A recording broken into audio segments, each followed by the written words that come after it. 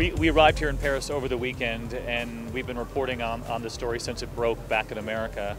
You know, sadly, uh, these kinds of stories generally unite the world, and people back in America care um, as much about what's happened here in Paris probably as the French people.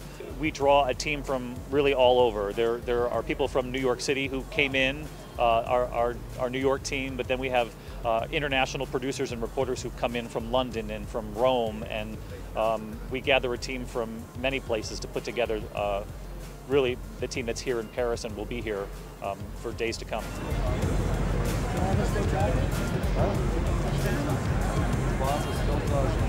We are here just from the first moment, and it's, uh, it's in fact is uh, a commotion, an enormous commotion. It's a sick fact. Uh, it's tremendous. It's criminal, and everybody was uh, very shocked in Argentina for this fact. So we decided to come here immediately in order to give the knowledge to our country what happened here exactly and the feelings of the French people.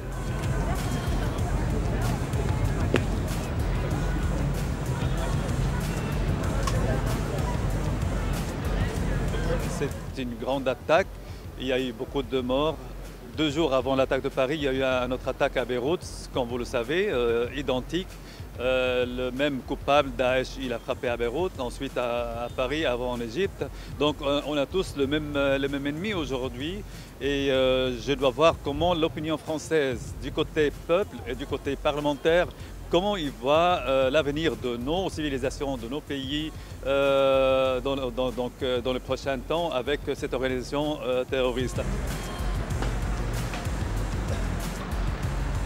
and I moved here on the Eurostar on Saturday morning. I got a call at 4 a.m.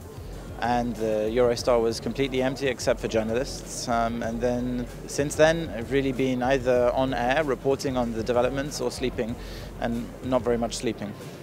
Uh, Israel is unfortunately a place where they're used to terror incidents. So, in a way, the channel has a head start because they know how to follow all the developments after an attack like this takes place.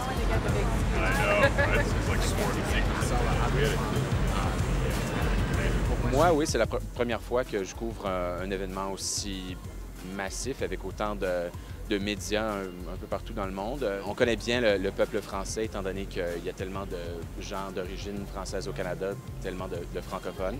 Euh, et c'est depuis euh, vendredi soir, c'est la nouvelle principale sur nos ondes.